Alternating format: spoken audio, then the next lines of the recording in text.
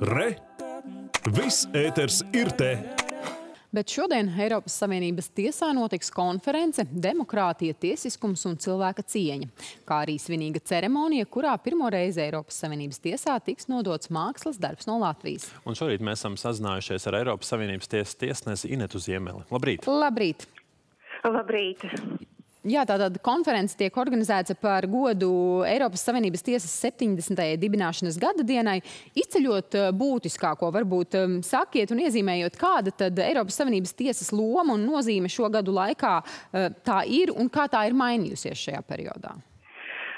Nu jā, šī loma ir tiešām pieaugusi šajos gadu desmitos, un, protams, ka Eiropas Savienība, kas savā identitātē ir uh, kopējā tiesiskuma telpa un kur tiesiskas valsts vērtība ir viena no centrālajām vērtībām, tad, nu, Eiropas Savienības tiesa ir tā uh, tiesiskuma citadele un tiesiskuma garants uh, Eiropas Savienībā. Un ir ļoti daudz un dažādas lietas, kas nāk uz Eiropas Savienības tiesu. Nu, citas starp arī, piemēram, uh, saistībā ar Ukrainas uh, karu Ukraina arī būs lietas Eiropas Savienības tiesā. Un, un, un nešaubīgi šī tiesa ir, ir, ir principiāli svarīga svarīga.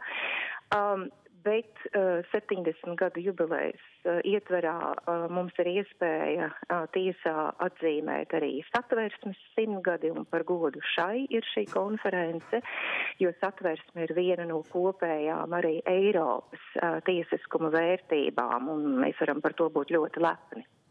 Ja jums jāvērtē Eiropas Savienības tiesas pēdējā laika lēmumu, kam jūs īpaši vēlētos pievērst uzmanību? Ziniet, um, es domāju, nu, virknei lietu, kas ir saistītas uh, ar, uh, ja tā varētu teikt, uh, problemātiskām attiecībām starp tiesu varu un politisko varu Polijā.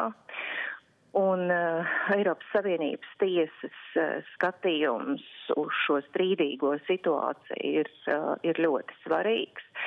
Um, bet vienlaicīgi Eiropas Savienības tiesa turpina uzturēt spēkā visas šīs pamatbrīvības, kas veido Eiropas Savienību, protams, proti iedzīvotāju pārvietošanās brīvība, um, pakalpojumu, biznesa, kapitāla.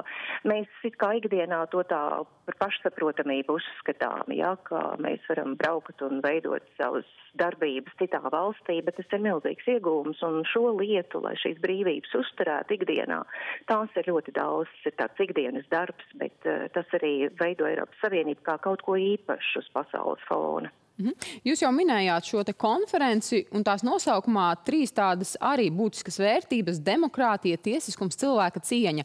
Kā jūs teiktu, kā ar šīm vērtībām Eiropas Savienībā kopumā sokas, cik stabilas tās eh, pat labāk ir?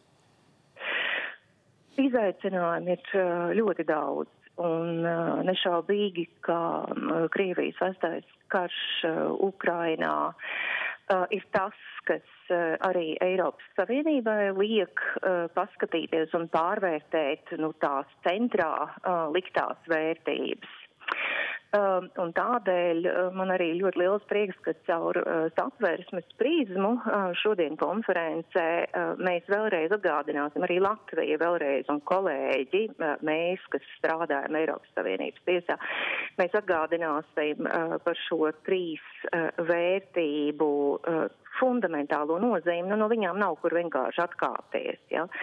Un arī šis darbs, ko pirmo reizi uh, Latvija uh, dos uh, izstādīšanā Eiropas Savienības tiesā, jo tā ir tāda tradīcija visās starptautiskās organizācijās, un Latvija bija viena no nedaudzajām valstīm, kura nebija savu mākslu um, izstādījusi Eiropas Savienības tiesā. Šis darbs ir arī ļoti simbolisks. Uh, tas ir mākslinieces uh, Dainas Daganijas darbs Imigranti. Un, kad mēs kopā ar Nacionālo muzeju izvēlējāmies šo darbu, tas ir, vēl bija pirms uh, kara sākuma, tā, tas, tas tā simbolisms ir cilvēktiesību ziņā. Tas darbs ir par cilvēktiesībām, par mūsu bēgļiem pēc otrā pasaules kara. Un, protams, uh, tagad arī, diemžēl, pēc Amerikas augstākās tiesas uh, nesenā sprieduma, šim darbam ir vēl lielāka simboliska vērtība, un man ir gandarījums, ka tas tiešām nāk no Latvijas. Jā, vēl par tiesiskumu, demokrātiju un cilvēku cieņu runājot, šie termini nu, nedaudz konkrētāk par Latviju. Cik liels izaicinājums tas mums vēl ir?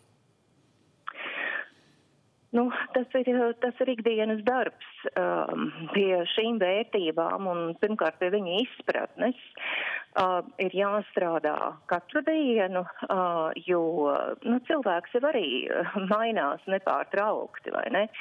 Un tas, uh, ko veido, kas veido cilvēku cieņu, um, kā nostiprināt demokrātiju, ja, nu, mēs jau redzam, ka mums pašiem arī uh, ikdienā ļoti pie tā ir, uh, ir jāpiestrādā un, un šī satversme mūsu pamatlikums mums jāturpina ir piepildīt uh, ar saturu. Tur, tur vienkārši nav variāciju.